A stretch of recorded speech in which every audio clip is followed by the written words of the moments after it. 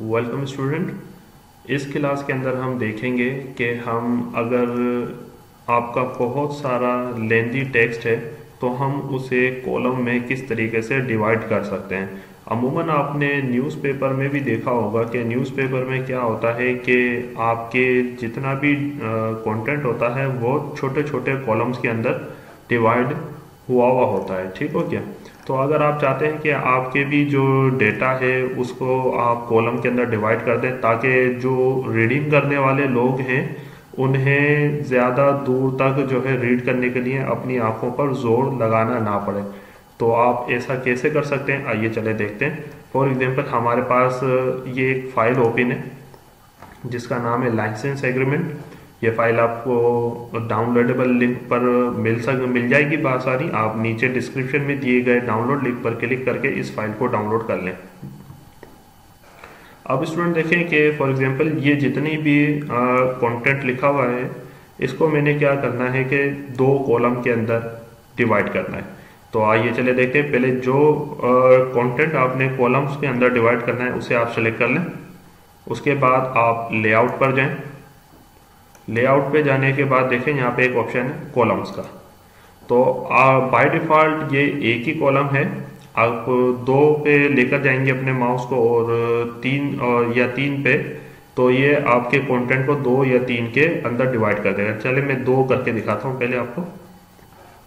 तो ये देखें, इसने क्या किया है कि इसने तमाम का तमाम कंटेंट वर्टिकली और हॉरिजॉन्टली दोनों बराबर कर दिया है और दो कॉलम्स के अंदर इसने कर दिया है। तो अब इसकी कुछ बाय डिफ़ॉल्ट सेटिंग भी है कि इसने ये जो बीच में स्पेस रखा है दो कॉलम्स के दरमियान, ये कितना होना चाहिए वगैरह वगैरह। तो इसने अभी फ़िलहाल क्या किया है कि हमारा जितना भी कंटेंट हमने सिलेक्ट किया था, उसे दो कॉलम के अंदर डिवाइड कर दिया। आप चाहें तो इसकी भी सेटिंग कर सकते हैं। तो ये मैं पहले से तीन पे करके दिखाता हूँ, आपको देखें, ये तीन में डिवाइड हो गया। मैं फ़िलहाल दो पे ही रख देता हूँ और दो पे रखने के बाद इसकी छोटी सी कॉन्फ़िगरेशन करते हैं। हम देखें मोर कॉलम पर आए। मोर कॉलम पर आने के बाद इस बॉक्स को मैं यहाँ से हल्का सा यहाँ पर लेकर आ जाता हूँ।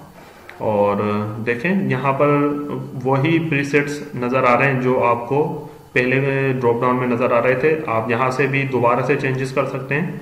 इसके अलावा ये ये देखें रेंज का ऑप्शन है। इस रेंज के ऑप्शन से भी आप मिसाल के तौर पे चार अगर कॉलम करना है आपने तो चार यहाँ से ही कर सकते हैं आप।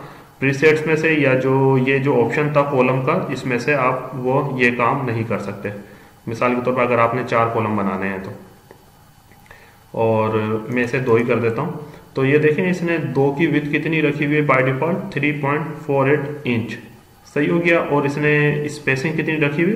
Four point five inch 4.5 inch जो है, ये जो दो कॉलम है, इसके दरमियान की जो ये गैप है, इसे ये कह रहा है कि इसकी स्पेसिंग इतनी है।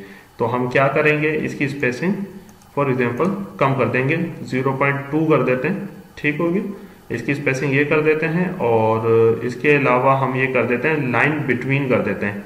मतलब कि दोनों कॉलम के दरमियान लाइन भी आ जाए। और उसके बाद देखें, जैसे ही मैंने स्पेसिंग कम की है तो इसकी विथ बढ़ गई है। दोनों कॉलम का अब जो टेक्स्ट होगा, वो ज़्यादा ज़्यादा नज़र आएगा। तो मैं इसे ओके करता हूँ।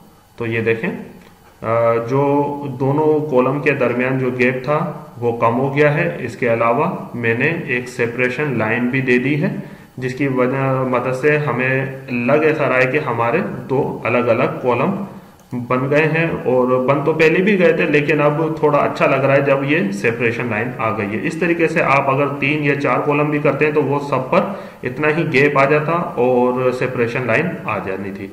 ठीक है स्टूडेंट तो इस तरीके से आप न्यूज़पेपर की तरह कॉलम वगैरह बनाकर काम कर सकते हैं।